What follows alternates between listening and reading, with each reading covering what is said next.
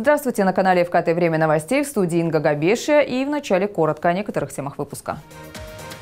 Сделать ставку на экотуризм. С таким предложением глава Сочи обратился к жителям Салахаульского сельского округа. В Сочи началась подготовка к переписи населения. Ее, кстати, можно будет пройти самостоятельно. Все вместе и по графику. В Сочи стартовал второй этап борьбы с карантинными вредителями. Сочинская гимназия номер 6 в числе лучших в России по проекту «Самбо в школу». Поэтому именно сюда приехал именитый спортсмен.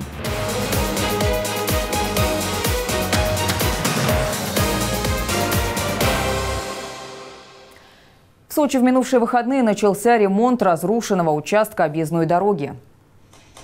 Первый шаг – расчистка реки. Напомню, в результате схода мощного оползня в реку Псахе было перекрыто русло реки, что привело к разрушению основания подпорной стены насыпи автодороги. Федеральные дорожники расчистили русло от оползневых масс и железобетонных свай, оставшихся от некогда недостроенного местного моста. На объекте работали 6 единиц спецтехники, 25 дорожных рабочих. Главная задача – полностью отвести воду от насыпи дороги. Движение транспорта на поврежденном участке объездной дороги по-прежнему запрещено.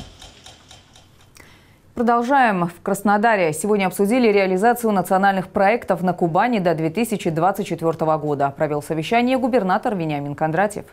О том, как в крае выполняются стратегические задачи, отчитались его заместители, руководители профильных ведомств и министерств. На видеосвязь вышли главы муниципалитетов.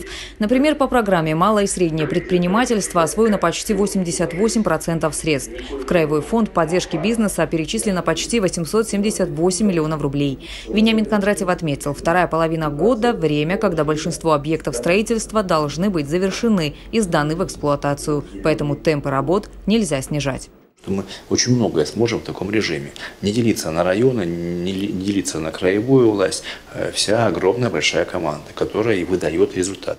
Не хочу эти проценты зачитывать. Бумага стерпит все, в народе говорят. Поэтому процентное увеличение выполненных работ, оно должно конкретно отражаться в реальной жизни. А во-вторых, для всех сказать, сроки, никакие сроки мы сдвигать не можем.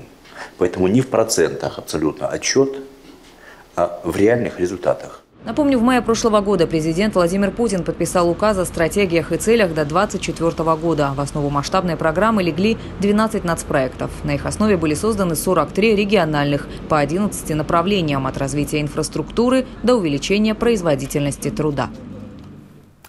Более 6,5 миллионов обращений в год в кубанских многофункциональных центрах увеличивают количество предоставляемых услуг. Так, недавно в МФЦ в формате одного окна стали регистрировать индивидуальных предпринимателей и юридические лица. Работу одного из комплексов проверил губернатор Кубани. Вениамин Кондратьев приехал в обновленный краснодарский офис на улице шоссе нефтяников.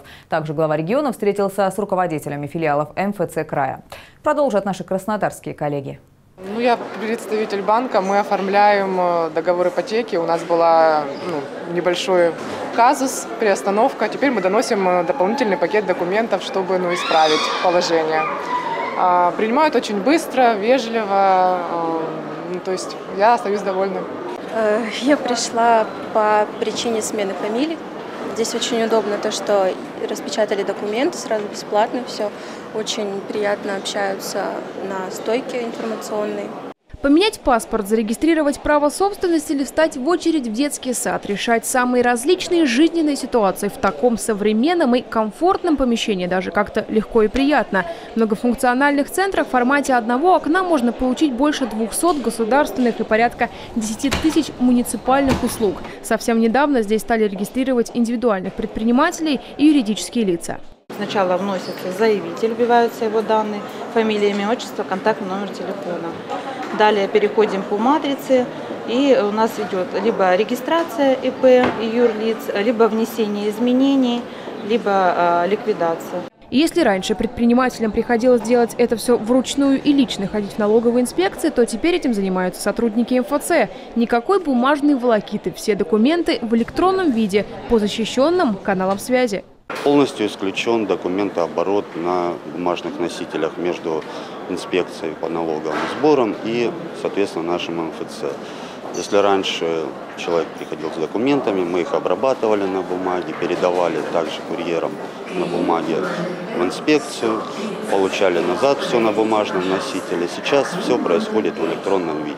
Сократились сроки предоставления этой услуги с 7 до 3 дней рабочих. Востребованность многофункциональных центров измеряется количеством пришедших туда людей. Ежегодно на Кубани в МФЦ поступает более 6,5 миллионов обращений. Работу одного из таких комплексов сегодня проверил губернатор края. Вениамин Кондратьев приехал в краснодарский офис на улице шоссе нефтяников. Это обновленный зал, который открылся пару месяцев назад. Глава региона пообщался с сотрудниками и посетителями. Мы начали в МФЦ делать больших торговых комплексов, даже в магазинах. Это удобно, либо лучше прийти в отдельное, э, в отдельное помещение, где только МФЦ. Я думаю, что это будет удобно. Удобнее там, где совмещено с, с торговым комплексом, с большим магазином, и как раз находится офис МФЦ. Намного удобнее. То есть пошел с покупками и заодно... Конечно, решаешь все, все дела сразу. Дела, да, Подкупает и скорость работы специалистов, признаются люди. По регламенту человек не может ждать в электронной очереди больше 15 минут. Примерно за такое время Вероника Шалкова получила свой первый в жизни паспорт. И девочка точно надолго запомнит этот день. Документ ей лично вручил губернатор края. Твоя страна, ты стала э, ее гражданином, я бы очень хотел, чтобы ты стала активным гражданином, очень волевым, энергичным, результативным, который меняет и свой край, и свою страну. Давайте, поздравляю. Спасибо. Давай. Добрый час. МФЦ стал понятным, доступным и удобным институтом для жителей края. Одни из самых востребованных услуг остаются услуги Росреестра, замена паспорта и постановка в очередь в детский сад. Ты давно работаешь в МФЦ? А ты как думаешь, вот с каждым не то что годом, месяцем спрос на услуги МФЦ возрастает? конечно, с каждым годом все больше. Люди привыкают к тому, что да, больше пользуются. Это, это очень хороший посредник между человеком и, и органами госвласти, учреждениями, которые эти услуги оказывают. Чем ходить по многочисленным кабинетам, зданиям, помещениям, лучше прийти в один офис по принципу одного окна и решить все свои вопросы. О том, как сегодня работает кубанская сеть МФЦ, говорили на отдельном совещании. Однако, побывав в современном и комфортабельном отделении многофункционального центра, невольно вспоминаешь прошлое, чтобы не простаивать в долгих очередях и не бегать из кабинета в кабинет. Люди пытались получить заветные документы, как говорили тогда в народе, за шоколадку. МФЦ – это в том числе и определенный удар по коррупции.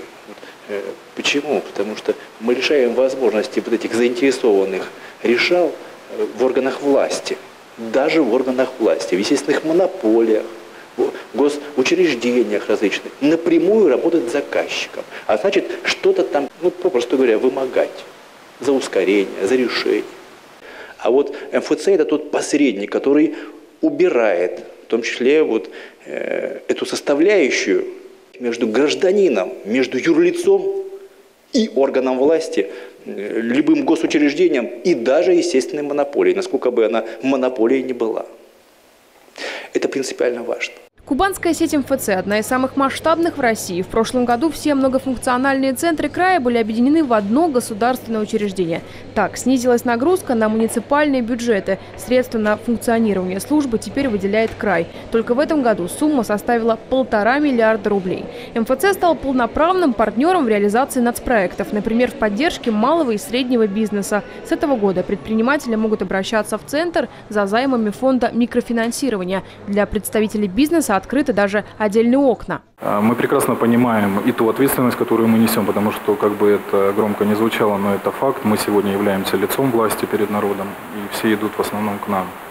Мы проводники как и идей, так, собственно, и то место, куда поступает вся обратная связь от населения о качестве предоставления услуг и всем остальном, что с этим связано. Специалисты МФЦ не остались в стране во время наводнения, которое произошло в октябре прошлого года в Обширонском и Туапсинском районах. У пострадавших принимали заявления на выплату компенсации и признание домов аварийными. Хотя в перечне многофункционального центра таких услуг нет. Обращений было столько, что на помощь приехали сотрудники МФЦ из разных городов края. У нас создались э, группы по выезду в те места, где более затоплены оказания, было произведено прием, консультирование всех э, жителей данных населенных пунктов. Сплотился наш коллектив. Все 44 района приняли активное участие. Да, самое интересное, что у нас таких услуг никогда не было. И пришлось импровизировать. И тут мы работали не по стандарту, а по-человечески. Работники службы доказали, быстро и качественно оказывать услуги они могут в любой ситуации. Система МФЦ стала огромным помощником для жителей края. Только за первое полугодие этого года специалистами центра было выдано около трех миллионов документов. В сторону сервиса все чаще можно услышать похвалу, чем жалобу. На четверть сократилось количество жалоб на работу МФЦ. Вот это очень серьезный показатель. Это то, ради чего мы и делали единое краевое МФЦ. Единый стандарт, единый уровень оказания услуг единый подход э, к жителю края, к юридическому лицу, одинаковый для всех. Мы уже, наверное, забываем. Вы вспомните эти очереди в различных учреждениях. Вот наши родители, да, мы еще успели в них постоять. И надо э, из одного конца города в другой ехать. И везде очереди. И везде безразличные лица вот этих сотрудников, которые были совсем не рады совсем не рады э, тем, кто в этих очередях стоял. И попробуй, успей из станицы ехать в Краснодар, объехать за день все эти учреждения там, или органы э, государственные, чтобы получить разрешение, согласование, какие-либо документы. Попробуй за день объехать. Да невозможно просто объехать. А сегодня приходишь, и в одном окне ты можешь закрыть все э, что еще года два назад, три точно, э, понадобилось бы как минимум дня три, а может быть недели. После совещания лучшие работники многофункционального центра получили благодарности и дипломы из рук губернатора, а также сертификаты по итогам краевого конкурса. Яна Бузычкина, Александр Иванченко, Денис Перец, Алексей Комаров и Вадим Волков. Кубань-24, Краснодар. Началась подготовка к 12-й в истории России переписи населения. Она пройдет в следующем году. Это единственный полный и достоверный источник сведений о населении. Последняя перепись проходила 10 лет назад. В Сочи по состоянию на 1 января проживают 524 тысячи человек. Но данные административных источников могут быть неточными. Во время переписи информацию получат непосредственно от населения и есть несколько методов ее сбора. Это непосредственная работа регистраторов на местах и интернет-перепись. Последняя хорошо себя зарекомендовала в прошлом году во время тестирования такого способа. Каждый житель через единый портал госуслуг может самостоятельно переписать себя и членов своей семьи. Информация оперативно поступает в управление статистики и участников интернет-переписи повторно опрашивать не будут. Опросы населения пройдут в период с 4 по 27 октября 2020 года, но уже сейчас началась подготовка. Так, в ближайший месяц регистраторы должны будут пройти по своим участкам и сверить наличие домов и строений, перечисленных в маршрутных листах, с фактическими. Все изменения будут вносить на карту. Регистратор должен работать вот с таким удостоверением, что любой гражданин города Сочи может ознакомиться с ним. Если у него вызовет какое-то сомнение в подлинности, то позвоните, пожалуйста, в администрации районов – вам скажут телефоны, по которым вы можете связаться с нами и проверить эту информацию. Обращаю внимание, что у многоквартирных домов регистраторы проверяют только наличие подъездов, наличие подъездов, номера подъездов, количество квартир. А вот в частном фонде уточняют число проживающих целях безопасности к работе по проверке гаражных кооперативов и садовых товариществ подключатся сотрудники УВД, общественники и председатели ТОС. Главная задача такой подготовки к переписи – определить постоянно проживающих в Сочи жителей. Работников торговли с профессиональным праздником поздравил губернатор Краснодарского края. Вениамин Кондратьев отметил, что это одна из самых мощных отраслей региона. В прошлом году потребсфера принесла пятую часть всех налоговых поступлений в бюджет края – 36 миллиардов рублей. Торговля – это пульс, пульс города, пульс станицы, пульс села, потому что по торговле можно понимать, насколько бьется жизнь в городе, в станице, в селе, либо, либо она очень э, с большим э, таким перебоем. Потому что торговля – показатель возможности людей покупать. Мы все с вами покупатели. Мы хотим видеть соразмерность цены и качества. Мы не хотим переплачивать больше за то, что, что столько оно не стоит. Безусловно, покупатель становится более разборчивым. Он сегодня хочет э, видеть высокий уровень сервиса, безусловно. Он сегодня видит очень такие, хочет качественные товары видеть на полках магазина. И понятно, что чем дешевле тем доступней для покупателя. А еще, естественно, хотят высокое качество по более доступной цене. Несмотря на огромный выбор, люди не готовы покупать все подряд, обратился к специалистам торговой сферы глава региона. На сельском рынке или придорожной ярмарке покупатель всегда хочет видеть высокий уровень сервиса, богатый ассортимент и качественные товары. Для этого разработали бренд «Сделано на Кубани» – своего рода знак качества, который присваивают лучшим продуктам, произведенным в регионе. Не стоит забывать и о внешнем виде самих магазинов. Внешний вид э, торговых площадей, павильонов, магазинов, в конечном счете э, ларьков. Все это есть, э, ну, коллеги, общий облик торговля формирует в основном, потому что на первых линиях в основном объекты торговли стоят. Притом в любом населенном пункте, начиная с маленького хударка, заканчивая нашим столичным Краснодаром. И вот какие ваши по внешнему даже виду объекты торговли, вот такой и облик и нашего Краснодара, краевой столицы, и наших станиц. Какой сервис внутри вот этих самых объектов, вот также и жители края, и особенно приезжающие оценивают уровень качества жизни по, по вашим, еще раз подчеркиваю, торговым объектам.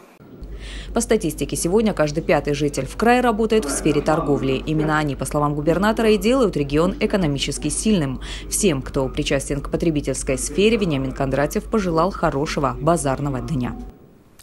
К новостям вернемся после прогноза погоды. Не переключайтесь.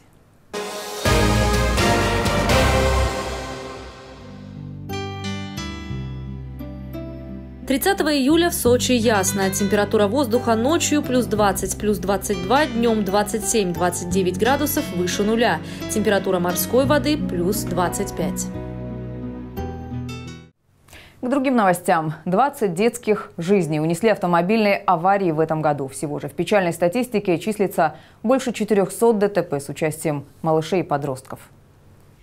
Основная причина таких происшествий – несоблюдение правил перевозки маленьких пассажиров. О том, как приучить родителей к ответственности, говорили в детской краевой клинической больнице. Здесь же дали старт всероссийскому проекту. Его участниками станут мамы, которые находятся в перинатальных центрах и роддомах Кубани. Им покажут, как пользоваться детским креслом и напомнят, как переходить дорогу с коляской. Старт проекту дал первый вице-губернатор края Андрей Алексеенко.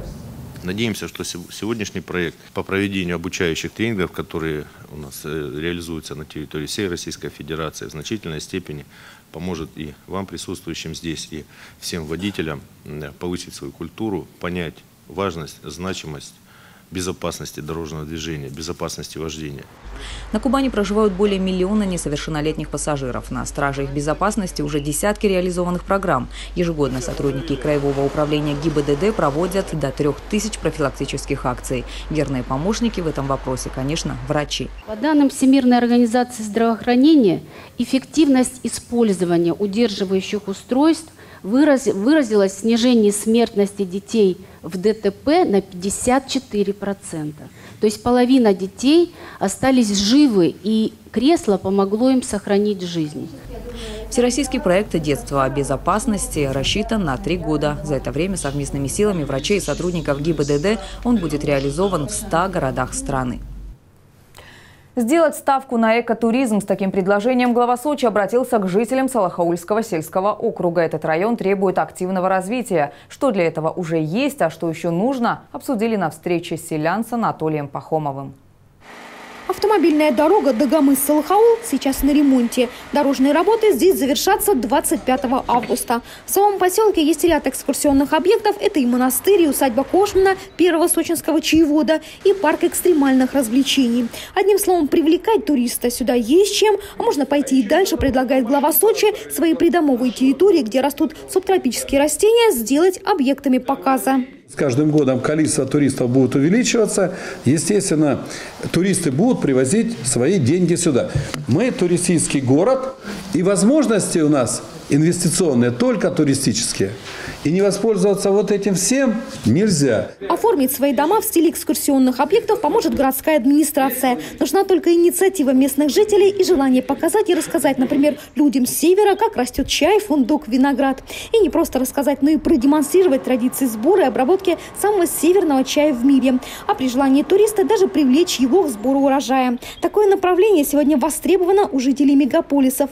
В Большом Сочи таких предпринимателей в области агротуризма немало. Нужно уже перенимать опыт, отметил Анатолий Пахомов. От перспектив перешли к вопросам дня сегодняшнего. Селяне попросили главу города, чтобы офис врача общей практики в Салахауле вновь заработал в полную силу. Сейчас в нем нет постоянного специалиста, а два фельдшера не могут оперативно решить все проблемы со здоровьем, которые возникают у местных жителей. Людям приходится ездить в Дагомысскую поликлинику. Мэр отметил, что эта проблема решаема. Более того, сельскому медработнику обязательно будет предоставлено жилье. И пока врача не найдут, Салахаули два раза в неделю будет вести прием доктор из Дагомыса. Чем уже может похвастаться поселок, так это спортсменами. Дети из соседних сел занимаются теперь дзюдо. Его преподает Кнарик Стамбультян, призер Европы по дзюдо, десятикратная чемпионка Армении. Тренеру понравились условия. Недавно у нас появилась спортивная площадка. Нам очень сильно помогает. После кросса мы приходим сюда. Молодежь должна заниматься спортом и творчеством, отметил глава Сочи. Для этого власти курорта готовы поддержать все инициативы местных жителей. Елена Овсецина, Максим Ковригин, телекомпания «ФКТ». В Сочи стартовал второй этап борьбы с карантинными вредителями. Речь идет об обработке растений от американской белой бабочки и мраморного клопа. Наконец июля как раз приходится период размножения второго поколения вредителя. На муниципальных территориях обработка уже началась. Особое внимание уделяется паркам и скверам. В этом году на борьбу с вредителями выделено в 4 раза больше средств – 13,5 миллионов рублей. Чтобы сохранить зеленые насаждения, их нужно своевременно обрабатывать специальными препаратами из государственного каталога пестицидов и агрохимикатов, разрешенных к применению в России. В мае-июне в Сочи прошла первая волна обработки. Сейчас пришло время второго этапа. Муниципальные территории – ответственность городских властей. Остальным же хозяйствам соответствующим субъектам необходимо делать это самостоятельно. За земли и садовых товариществ отвечают собственники, за территории многоквартирных жилых домов – управляющие компании. В случае, если домоуправление не спешит обрабатывать деревья, жителям необходимо обращаться по телефонам горячей линии Россельхознадзора и администрации Сочи. Также по указанным телефонам можно сообщать о фактах появления вредителей. Важно провести обработку в одно и то же время по утвержденному графику вместе с остальными собственниками территории территорий, чтобы вредители не могли переселяться на неопрысканные участки. Тем, кто решил пренебречь обработкой, грозят штрафы. Другим новостям. В Сочи открылся летний театральный лагерь «ГИТИС». Это новый проект самого известного театрального вуза нашей страны. В таком формате обучение будущих актеров и режиссеров проходит впервые. О первом летнем театральном лагере «ГИТИС» организаторы рассказали на пресс-конференции. В течение двух недель студенты режиссерского факультета «ГИТИС», а также студенты и молодые режиссеры из 10 регионов страны будут изучать и практиковать актерское мастерство, сценическое движение, разбирать самые известные пьесы Чехова и трагедии Шекспира. Действительно, мы получили грант администрации президента на проведение этого лагеря театрального. И то, что здесь происходит летний лагерь именно в вашем городе, это чудесно. И мы очень рады тому, что со стороны администрации города Сочи, со стороны руководства города, мы встретили не просто полное такое понимание, но и э, большую поддержку. 74 будущих актера и режиссера прослушают более 50 лекций мастер-классов. В них смогут принять участие и сочинские специалисты отрасли культуры. Кстати, занятия проходят на базе нового театра Сочи. Муниципальный театр был создан только в начале года и уже стал площадкой для летнего лагеря престижного театрального вуза. Для нового театра это новый, очень интересный и полезный опыт. Ну а старт работе лагеря сегодня дал глава Сочи Анатолий Пахомов. И надеюсь, что э, именно сочинская земля поможет вам действительно пообщаться с мастерами, пообщаться со звездами, а потом самим стать звездами. Что касается наших культурных мероприятий, то мы считаем себя фестивальной столицей, потому что э, Юрий Башмет у нас два фестиваля проводит, Игорь Бутман уже вот десятый э, юбилейный фестиваль э, проведет с 1 августа. Что касается дальнейших планов по взаимодействию, новый театр предложил выпускникам ГИТИСа показать на сочинской сцене дипломные работы выпускников. Возможно, небольшую постановку участники летнего лагеря представят и по окончанию смены. Ольга Десятого, Михаил Дубинин, телекомпания ФКТ. В Парке науки и искусства «Сириус» продолжается цикл концертов звезд мировой сцены. Фестиваль звезд – это подарок для всех ценителей классической музыки. Для того, чтобы услышать таких солистов, уже не нужно ехать в столицу или посещать европейские концертные залы. Музыканты с мировой известностью сегодня выступают в Сочи. В минувшие выходные здесь прошли сразу два классических концерта. Сначала на сцену парка вышло джазовое трио Дениса Мацуева, а сразу же после него оперная дива Ольга Перетятько. Она много выступает за рубежом. Для меня очень важно было вернуться, и я каждый раз, когда приглашают, я соглашаюсь, э, раздвигаю свои ангажементы, чтобы приехать. Э, этот концерт мы очень долго, конечно, обсуждали. Я надеюсь, что я вернусь открывать, э, соответственно, новый зал и для меня просто очень важно вернуться. И вернуться знаете, вот корни, вот никогда нельзя терять корни. А 1 августа «Сириус» примет еще одну блестящую певицу Юлию Лежневу. Концерты проходят в сопровождении Сочинского симфонического оркестра. Спасибо.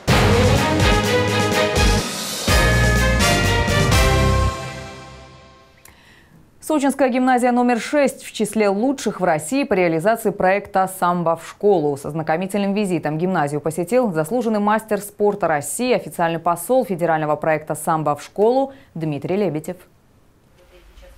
Шестая гимназия является официальным участником программы «Самбо в школу». Учебное заведение принимало участие в глобальном всероссийском марафоне Министерства просвещения «Дни самбо в школах России», онлайн-олимпиаде «Знатоки самбо», а также во всероссийском конкурсе «Юный журналист», по итогам которого ученик гимназии Артем Тищенко занял третье место среди учащихся более чем 150 учебных заведений. Дипломы победителей онлайн-олимпиады «Знатоки самбо» получили гимназисты, сестры Алина и Мария Авдеевы, а также их брат Михаил. Михаил. Официальный посол федерального проекта «Самбо в школу» Дмитрий Лебедев ознакомился с ходом реализации проекта в Сочинской гимназии, осмотрел спортивные залы и стенды спортивной славы гимназии. По словам мастера спорта, он остался под впечатлением от проделанной в учебном заведении работы. Занятия самбо проводятся в двух залах, в которых имеются специальные покрытия для занятий. Учителя прошли необходимую подготовку, ведутся тренировки по национальной борьбе в рамках школьного спортивного клуба. В торжественной обстановке именитый самбо самбист вручил Артему Тищенко диплом Министерства просвещения России и Всероссийской Федерации самбо за третье место во всероссийском конкурсе, а также приз путевку в летний оздоровительный лагерь «Страна героев» на Азовском море. Также диплом за успехи в реализации проекта «Самбо в школу» был вручен директору гимназии. В ходе мероприятия именитый чемпион ответил на вопросы юных самбистов, раздал автографы и провел фотосессию. В следующем году Дмитрий Лебедев посетит гимназию с мастер-классом по национальной борьбе. На этом я с вами прощаюсь. Все новости уже на нашем сайте fkt.com. Смотрите нас в кабельных сетях «Радист» на 56-й кнопке и телепакетах «Билайн» на 76-й, а также в социальных сетях, в группах «Говорит Сочи», в Фейсбуке, Инстаграме, Одноклассниках, Телеграме и в сообществе ВКонтакте. И заходите на наш канал в Ютьюбе «Говорит Сочи». В студии была Инга Габеша. Спасибо за внимание и до встречи в эфире. Одежда ведущей предоставлена мультибрендовым магазином российских производителей «Сезоны». Это новые тенденции, качественные материалы и безусловный комфорт. Найдите свой стиль по адресу улица Парковая, 17.